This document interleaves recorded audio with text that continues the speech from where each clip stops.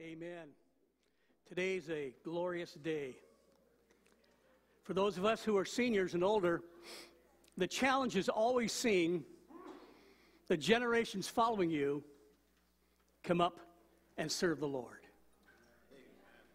There's no greater joy, and I tell people all the time if you're, when you're discipling people, the, the uh, fruit of your discipleship, the proof of your discipling is not based on those who you bring up under you, but those who they bring up under them. Because it's always tested in the third and fourth generations. And we see that in our nation. I remember growing up as a young child, Christianity was widely accepted. Then, as I began getting older, and that I began seeing some indifference toward Christianity. Now we're beginning to see hostility toward Christianity, aren't we? In our nation and many nations. And the next thing to come will be persecution of Christianity.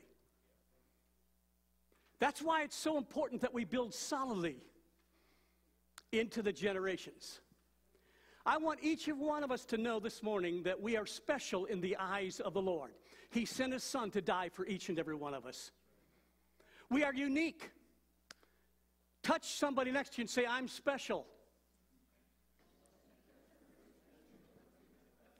You really are. Over seven and a half billion people. And nobody is exactly like you. Nobody has your fingerprint, your eye print. Nobody has your exact DNA. And so here we are, people created in the image of God, over seven and a half billion people in the world, and no two alike. That's a miracle. That's God, that's our Creator. So it's so exciting to know that we are loved by the Lord and He cares for each and every one of us because we are created in His image. This morning is a celebration. I'm not going to take much time. I've said that before. but I'm not going to take much time. We're excited about what God is doing. And so today we're going to be celebrating, and t- one of our elders, Caleb King, our son, and not because he's our son, but because he's called of God, will be recognized today. He's already an elder, ordained as an elder, but he will be recognized and set apart as one who is worthy of double honor, who will serve in the word and doctrine. Another generation is being raised up. And what we say to Caleb and all the younger generations, you have a responsibility before God. The Bible says that David served God's purpose for his generation. And that's a responsibility to each one of you. When I look around, I, I, I, see our families coming up and our young families. We see Luke and many others coming forth, my grandchildren, etc. The burden and the passion to see them follow the Lord, to see every subsequent generation follow the Lord. This morning, as we talk about setting him in, I'm going to go to uh, 1 Timothy chapter 5 as my proof text for what we're doing this morning. And the reason for that, in the church, and when you look at churches, etc., they use many different terms for somebody who's leading the church. But if we stick to the Bible, this book right here is the only authority on God. Traditions of men, what we do, doesn't matter. This is the only authority on God right here the Bible, the Holy Scriptures. And so that's what we follow. And in 2 Timothy chapter 5, verse 17, he says this Let the elders who rule well be counted worthy of double honor, especially those who labor in the word and doctrine. For the scripture says, You shall not muzzle an ox while it treads out the grain. And the labor is worthy of his hire. So, as you know, Caleb, at the beginning of this year, already started serving, left his previous job, and began serving the church here. But today we want to acknowledge and set him, acknowledge as one who will serve and labor in the word and doctrine. Also, who will grow in leadership here. We believe leading the team uh, as he continues to be disciple and trained for that. The importance, the importance of leadership in the church. All of our elders, several years ago, I put together an eldership notebook and full of scriptures. But the importance of leadership in the church for every generation cannot be understated. I want to read something I wrote in the book. Because when we look at leadership, it's not something vague or ambiguous in the scriptures. If we stick to the Word of God, it's very clear as to what leadership looks like, how it's to function, how it's to, you know, operate within the church and serve God's people. So I want to read something I wrote. The responsibility of the eldership is very important to the well being of the local church. Therefore, each elder must walk in their calling with the utmost respect for the Lord, the local church, and one another. The elders must continue to grow in the Lord. They must function as a team, working together in unity of spirit and purpose. They are to be examples to the church in manifesting the fruit of the Spirit. They must be men of the Word and God, having studied hard and rightly handling His Word. They are to be esteemed for their hard work. They must lay their lives down for the flock.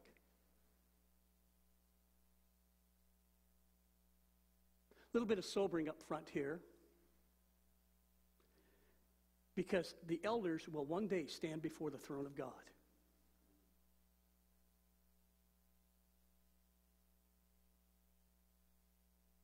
And as they're standing before the throne of God, they have to give an account for everyone in the church they served.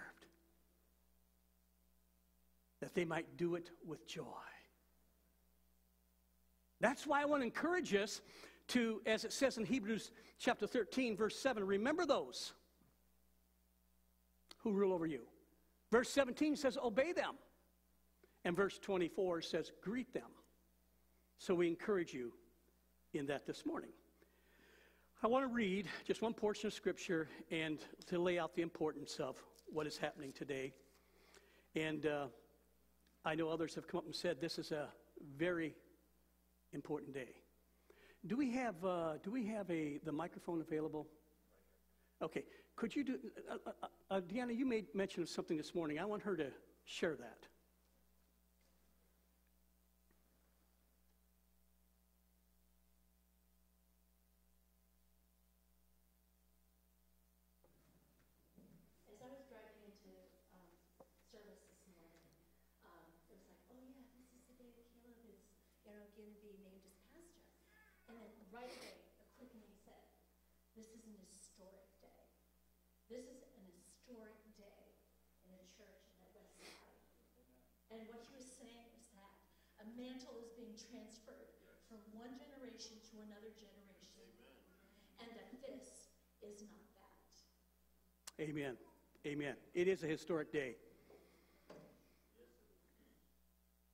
Today, many of the family members are here. His nieces and nephews, brothers and sisters, brother in law, sister in law, are here today to stand with him as he's being set in and to celebrate with him. But I want to read about the importance of leadership in the church. And rather than something kind of uh, loose or whatever, I, I wanted to stick to something that's a little bit sobering because I think as we look at the world around us, there are times where we have to be sober and diligent for the enemy seeking to devour generations. They say 34% of our generation is born again or knows the Lord, but less than 4% of the younger generations. So we had to really pray and believe for a revival among our youth and our young people. And we trust God's going to use Caleb and believe God's going to use Caleb in that, as well as not forgetting us who are older. Can I hear an amen from the seniors? Amen. amen. We're not done. Matter of fact, I never forget. I think it was when I turned 40. I can't remember if it was 40 or 50. One of the young men said to me, Well, how's it feel to be over the hill? I said, By the grace of God, young man, I'm on top of the hill, and by the grace of God, I'll hold it until you get up here and do your part. Never heard another word from him. We're still running hard. And we're going to be your greatest encouragers. And we'll stand alongside with you, believing for many powerful things to happen. We believe, as it's said time and time again, that our ceiling is your floor, that you'll take it so much farther than what we've taken it. 1 John chapter 4. Beloved, do not believe every spirit, but test the spirits whether they are of God. Because many false prophets have gone out into the world. And there are many false prophets and false narratives that are being uh, spoken out there in the world. Many people are buying in, even Christians are buying into false narratives. Every system of this world or kingdom of this world is a false prophet. Only God Himself has the authority to speak with all authority. And so we look to Him. So He warns us by this you know the Spirit of God. Every spirit that confesses that Jesus Christ has come in the flesh is of God. And every spirit that does not confess that Jesus Christ has come in the flesh is not of God. And this is the spirit of the Antichrist, which you have heard was coming and is now already in the world. Let me tell you, I see the spirit of the Antichrist very active in this world. The Antichrist is the voice that stands against Christ. It's the voice speaking out against God. It's the voice in government speaking out against God. It's the voice in education speaking out against God. It's the voice in the marketplace speaking out against God. But God is referred to as the God of hosts or Lord of hosts or Lord Almighty, and that word means the Lord of a massive army. That's you and I. And we see generations following us in this. They are of the world, therefore they speak of, of the world, and the world hears them. We are of God. He who knows God hears us. He who is not of God does not hear us. By this we know the spirit of truth and the spirit of error. Beloved, let us love one another, for love is of God. And everyone who loves is born of God and knows God. He who does not love does not know God, for God is love. We love our enemies. We're not against, we're for. The thing we stand against is anything that stands against God. It's not so much mankind, it's the enemy who has blinded their minds and deceived them, where they walk in the manner of life that they do. Now, what we're going to do, we're going to actually acknowledge Caleb is setting in of him as a pastor worthy of a double honor and serving in the word and doctrine. Caleb's role, I mean, his gifting is that more. When you look at the eldership, it was always in the plural in, in, in, the scriptures. The elders, plural, were set in in every church. That was the government of the church. As a matter of fact, in Acts chapter 20, verse 17, Paul calls for the elders from Ephesus and he tells them to oversee, which is the word bishop, oversee, superintend the church. And he tells them to shepherd or pastor the church. But within the church, within the eldership and that, there are different giftings, whether it's apostle, prophet, evangelist, pastor, and teacher. One of the things we've needed here for some time is somebody who really carries that pastoral mantle. And Caleb will carry that. Amen. To see, care for, and tend the church. I'm going to ask Caleb and Amy. I'm going to ask Amy's parents, as well as my wife, she'll be coming in here in a minute, to come forward here. I'm going to ask the elders to come forward here as we lay hands on Caleb. And then Caleb's going to share with us this morning. Now, let me say this if you have a word of prophecy, word of encouragement, or whatever, share that at the end with Caleb. Uh, I have uh, given license uh, so, that, so that we can redeem the time, and we don't want to lose any word, though, that God wants to speak. Where Todd and, and Randy can uh, share a word over here among us as the elders. See if we have everybody up here I need. And I want to say this. When God calls, he calls them together. I remember when we stood out in the garden, the marriage ceremony. From that day on, God no, no longer saw you as two, but as one. You stand in this together. I don't believe either one of you, when you got married, before you were dating or whatever, ever thought this day would be before you. God's full of surprises. Amen. Full of them. We never thought either, but God called Lilai. And all of these here. Here we have Amy's parents standing alongside of her, as well as Lilai and the elders. At this time, Todd, do you have anything you want to? I do. Um, yeah, this is a uh, familiar scripture maybe to many of us. Um, but I want to read this um, to you because I believe it's going to be kind of not a mantra, but it's going to be something that's going to anchor um, some of your insecurities that comes along with, you know, the office. But this is found in Isaiah chapter 26, and I'll read from the third verse.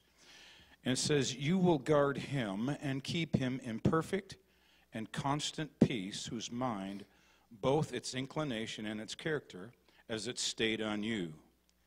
Because he commits himself to you, leans on you, and hopes confidently in you. So trust in the Lord and lean on him. Hope confidently in him forever. For the Lord God is an everlasting rock, the rock of ages. Now, I just want to I just want to agree with the word and that we believe that this is going to be a part of your nature. It's your heart to desire the Lord above all else. But it takes practice. But I want to just say to you that this scripture, I believe, will come and uh, find a home in your heart and be brought to your remembrance, especially in times where you're saying, Are you sure you did this right, God? Are you sure? But I just want to um, agree with the word and ask that God sow this into your heart so that it become part of the fabric and your makeup. Amen. So as Holy Spirit brings it back to your remembrance, you will remember that your confidence doesn't lie in yourself, but into the King of Kings and the Lord of Lords, and it is his promise to you. Yes and amen. Amen. Amen. Hallelujah.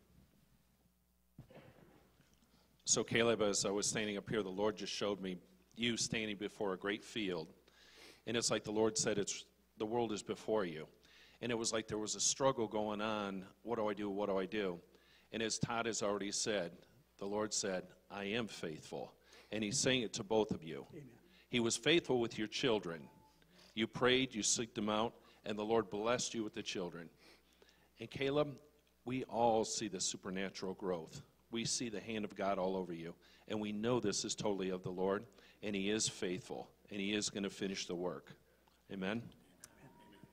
Justice, do um, Brother Caleb, I have a scripture to read for you. And this is found in the book of Second uh, Chronicles, uh, chapter 1. So I'm going to start reading verse 6.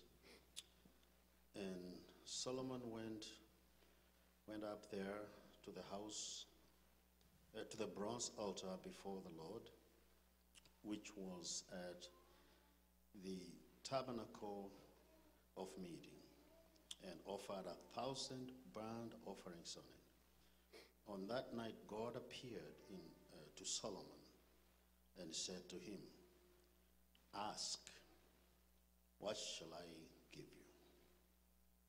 And Solomon said to God, you have shown great mercy to David, my father, and have made me king in his place. Now, O Lord God, let your promise to David, my father, be established. For you have made me king over a people like the dust of the earth in multitude. Now give me wisdom and knowledge, that I may go out and come in before these people. For who can judge this great people of yours?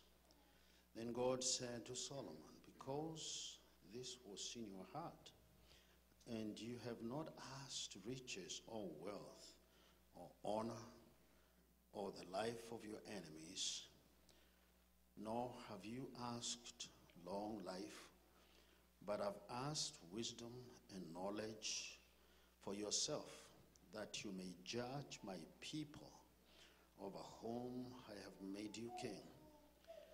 Wisdom and knowledge are granted to you, and I will give you riches and wealth and honor, such as none of the kings have, uh, have had who have come before you, nor shall any other uh, after you have the like.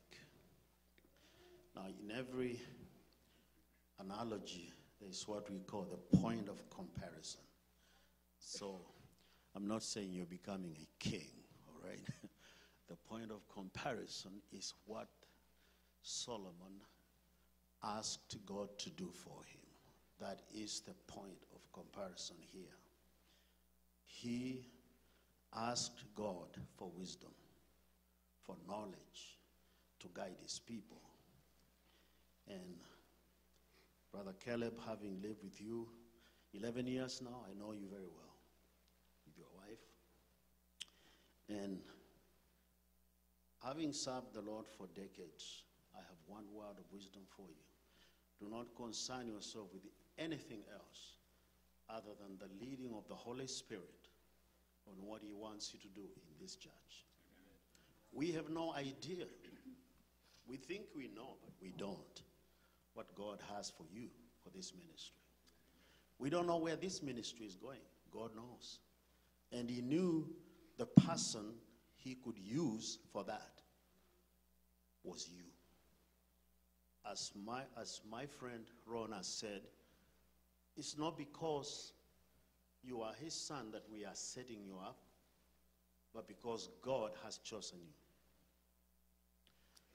Before my wife and I came to America, and this always brings tears to my eyes, the Lord said to me clearly, I could hear him as well as I have heard any voice speak to me.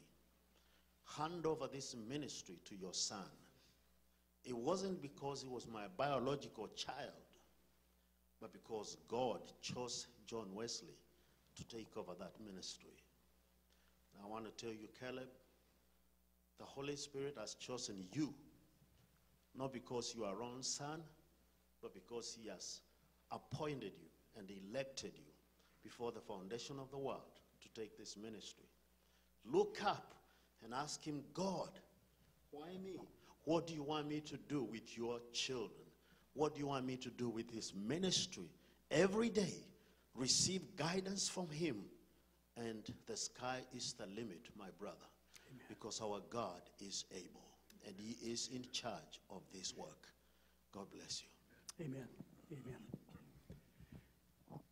Amy, we want to present you some flowers, and, and I think we'll probably be able to get your grandparents, you know, some of us to babysit some night. You two go out and, you know, have. Okay. And I want to thank my wife also for standing with me and raising godly children. Amen. All of our children serve the Lord in one way or another, and we're proud of you all. But Roger and Linda, we want to thank you too for raising a daughter that would be called alongside. We know you're the head, but the neck turns the head. Amen. Amen. I'm going to pray. Microphone, please. Lila's going to pray, and then we're going to lay hands on the two of you. Father, I thank you today to have the privilege to have this beautiful lady in my life, in the life of my son. Father, I pray that in days to come, you would bless her abundantly. And Father, that you would be with her. Father, you have called her as a helpmate, one to come alongside and encourage and strengthen her husband. Father, as they both serve you, we welcome them, Father. We thank you that you have placed them in your house, God, amongst us. So we bless them today. We honor them. And we thank you that in days to come, you will be with them in the good times, in the hard times. Yes, Lord. You will be there, God. And you will strengthen them each time, and they will become even stronger and go from glory to glory. So, Father, we thank you again today for this privilege and honor, Father, that we've gotten as a church to bless them and to welcome them as your leaders amongst us. In the name of Jesus. Thank you for my son Caleb. We bless him also. And we thank you for him, Father, and the blessing he's been to our family. We thank you that you fulfill the word of God in his life as we stood and prayed, Father, that you fulfilled it. And this is a day that I say, Thank you, my Father, for fulfilling those things you have called him to do in your kingdom. Amen. Amen. This time, let's just stretch forth our hands over Caleb and Amy here. And I want to encourage the congregation, just stretch forth your hands as a matter of affirmation for what's going on here today. Amen. Lord, we just acknowledge the calling on their lives. And we acknowledge the calling on Caleb to labor in the word and doctrine. We acknowledge his grace and gifting as a pastor, Lord. And so, Lord, we thank you that this day he's being acknowledged, Yes. he's being recognized, he's being set in. Lord, as an elder who will labor in the word and doctrine and pastor the flock. And so we thank you for that in the name of Jesus Christ, our Lord and Savior. And we say, Lord, amen. Amen, amen and amen. Amen.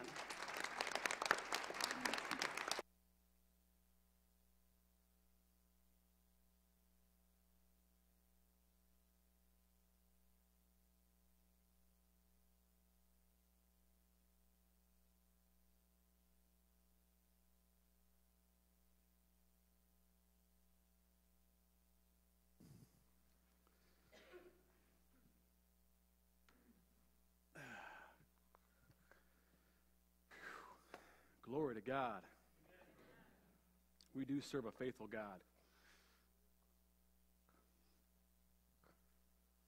Um, amen. Amen.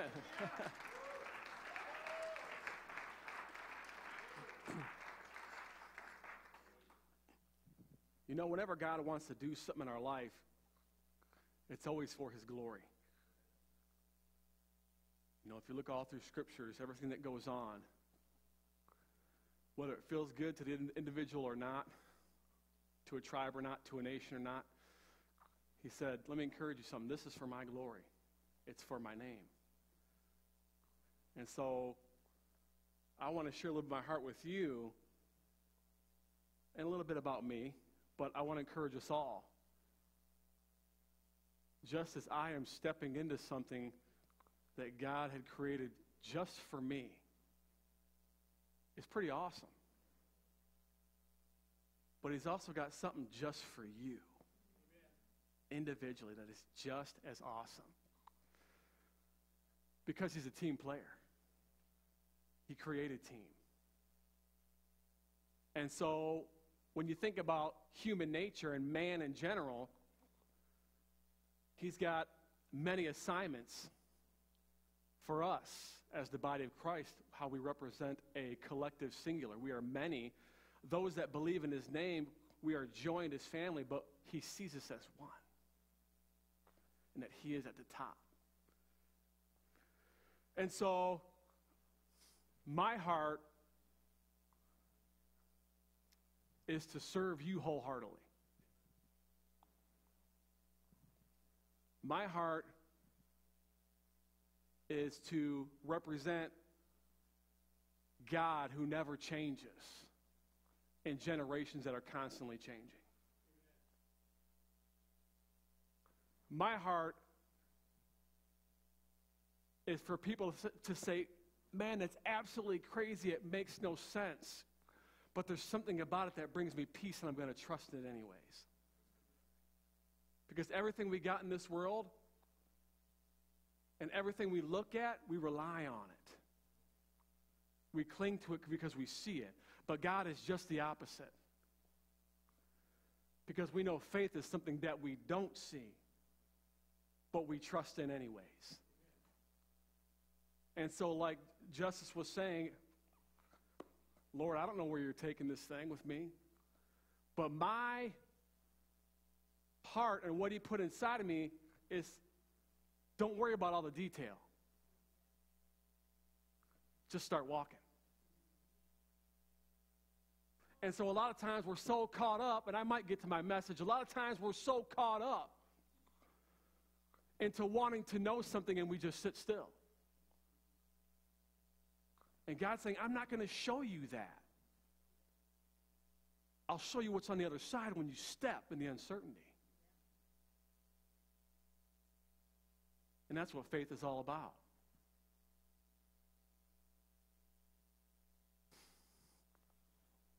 You know, I think about how far the Lord has brought me. Like Dad says, would I ever thought we'd be standing up here? Absolutely not. I mean, the things I've done growing up, the car accident I was in, the friend I lost, why he spared me, almost dying in a coke plant with a thousand pound press on my head for three minutes. He had a plan for me. But I ran so long because what I found out was is that my plan for my life wasn't exactly his plan when I found out his plan. And it scared me. And so I would, I would start walking the other way. But he would always use somebody. Let me tell you, God will always use somebody to speak to you. If you, if you are honestly looking to, to avoid God and, and he's got plans for you, he will go around your thought process and use somebody to speak in your life.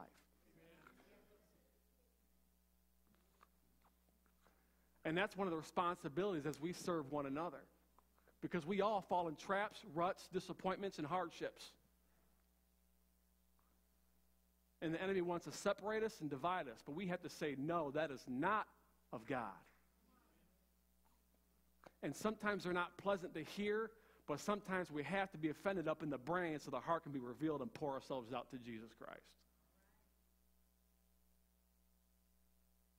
That's just the reality. And so my heart, like all of us, I'm telling you, God just, he, Jesus came to serve. The King of Kings and the Lord of Lords. He simply came to serve.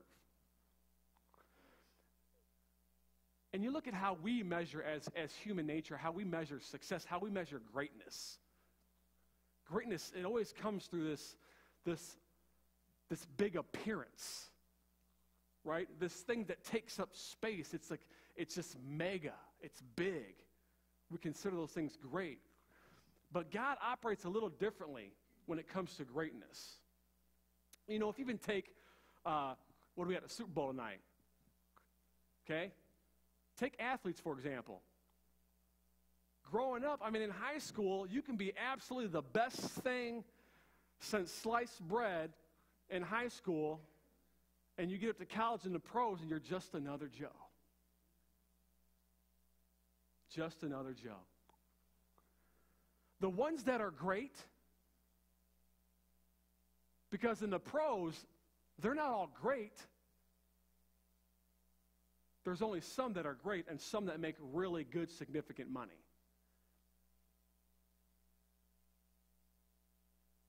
They all make okay money, but not compared to some that make millions and millions of dollars money. But what I'm saying is this the ones that are great, there's just something inside of them. It's a gift. But not only the gift, because they don't just stop there, they're also one of the hardest workers, the ones that are great. They're the ones that study the film nonstop. They're the ones with their heads are constantly in the playbook. They're the ones that are first one to practice and the last ones to leave. They set the example. They're disciplined learners in their craft. Those are the great ones. I'm telling you today that all of you, when you call on the name of the Lord Jesus Christ as your Lord and Savior, every one of you has greatness in you. But on top of that, his desire is for you to study nonstop. I remember Kobe Bryant said something one day, and it really separated. I never thought about this, but it's so true.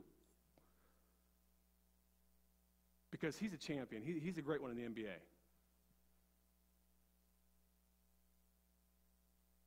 And it, I don't know it verbatim, but he says, You know what's better or what I can't, what, how did he say it? It was about winning. He says, What means more to me than winning? He says, I hate losing.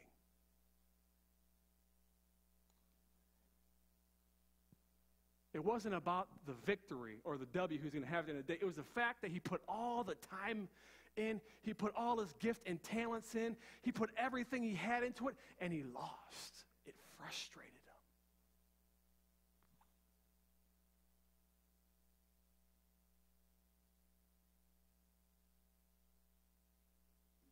But we do, we measure success a little differently when it comes to greatness because Jesus And the disciples, you know, he gathered up about 12 of them. Not about, he gathered 12.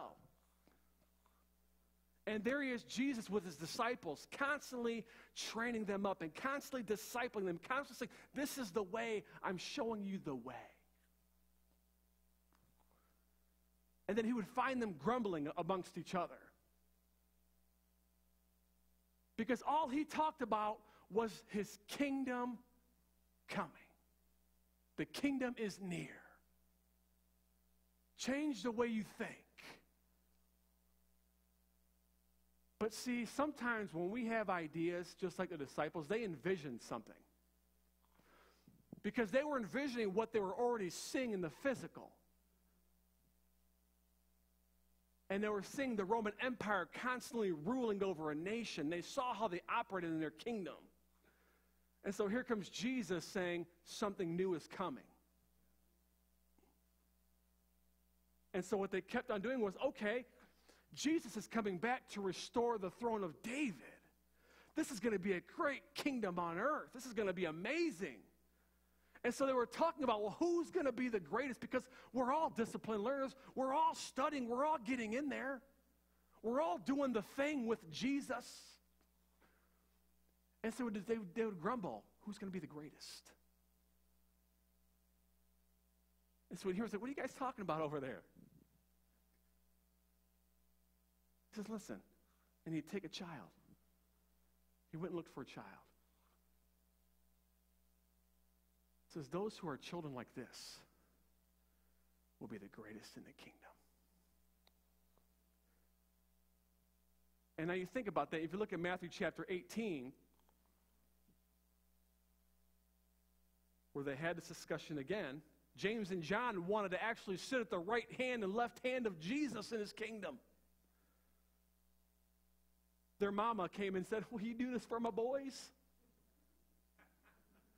I'm a mama's boy. I know what that's all about. I'm the youngest.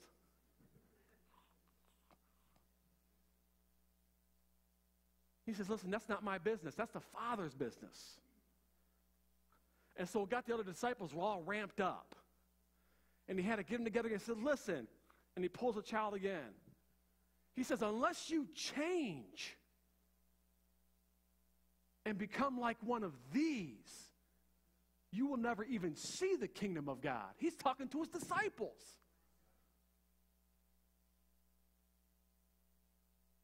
Because they were measuring greatness according to what they have seen and not according to what God designed. The kingdom of God is within us. It is a spiritual kingdom that changes lives and breaks down barriers and destroys buildings. That's what we do as believers. We carry a kingdom that will never be shaken. And when everything else is shaking, we will stand firm and people will come running to us saying, Why you? And I'll say, Because of him. Because of him. He says, You change and become like one of these children. The thing is that change, he's talking about you got to twist your thinking. John Jones, you come up for a second? It's my brother in law. Come on, man. Don't be shy. Get up here. Hearing all that. Looking at me like I'm crazy. Love my man. It's my brother in law right here. Give him a round of applause. Look at him. That's my family. I just want to give you an illustration. Now, don't hurt me. Jesus is talking about you need to twist your thinking. Now, when we were kids, I was the youngest of five. So my brothers, I didn't want to use Eddie because he'd probably do it for real. Going back in the day. If John were to grab my arm and he twists my arm, you know, you twist your arm, and even saying, you know, you twist my arm. And so I give in, right? Until I say, Uncle. John, you're playing God right now, so be careful. This is how people sometimes see God as this hardcore coming down on you. Let me twist you until this. That is not God. What brings me to my knees now, John, place your hand on my head and on my back like it's my heart. You know, God does more behind your back than he does in your face. And so I can't see what God is doing, but I feel, I sense him. He's not in my face. I am I'm believing. But when his hands get to my head, my thinking, and my heart, my knees drop to the ground and I surrender. Thank you, John. Good job playing God, John.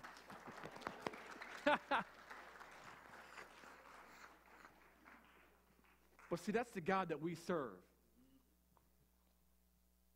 And so he says, You have to twist. I'm not going to twist your arm for you. You got to twist it yourself. You got to twist your brain and your heart. You got to change. You might as well call it repent.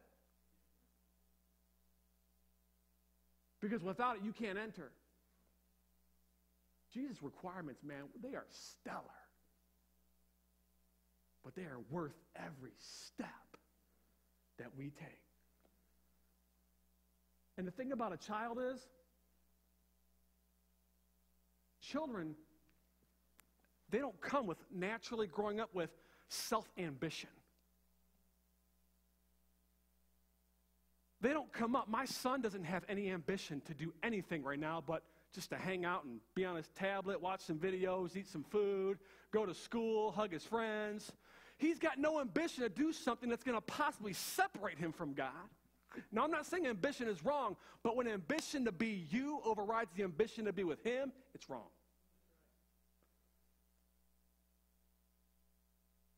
My son isn't prideful. It's not in him at that age. He's not arrogant. He's too young to be arrogant. He doesn't know any better. God saw the heart of a child, said, I need to grab this one right here because all of you aren't getting it. Not saying you guys, disciples. And he says, Look at this child. And you know the thing about children and why it's so important when they're young? Because they're teachable and they're pliable. We get to shape them. If not, the world will shape them. So my heart is to shape him to be hungry for God. And then when he gets to the age where pride wants to kick in, he has a decision to make.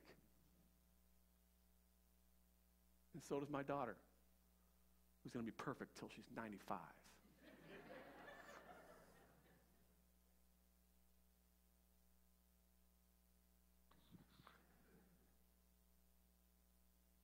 We're going to end with a song of worship here, but I just want to share something where Jesus said, I believe it's in Luke chapter 10, way late down in the game, about 46 or something like that. He's talking about the situation.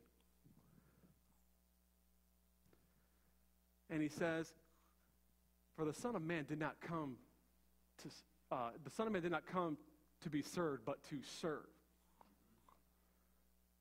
And to give his life as a ransom for many. Three things he did that he's even calling us to do. First one, come. Scripture says he came. He was obedient to the call. He knew his fate. He knew his cup.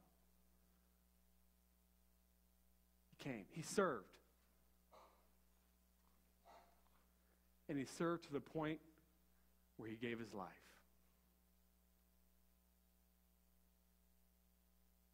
That's what Jesus wants for us. He's calling us to come. He's calling us to serve him. But we have to die for him. You see, it's easy to accept Jesus Christ as your Savior because he died for you and I. But to accept him as, as your Lord, which means ruler, that means we have to die for him. And like I say this all the time, life is not rainbows, skittles, and lollipops when you're a believer in Jesus Christ. But everything we do and everything we carry is all about the hope, the message of hope. God will get you through if you continue to persist and stand in faith and walk in his ways. And so, my oath to Westside is to serve you wholeheartedly, to succeed with you, to fail with you, to laugh with you and to cry with you, to see children raised up and to bury each other. That's what family's all about. I want to say thank you on behalf of my wife and I and our family. We love you. We appreciate you. And we always will. Amen, church? Amen.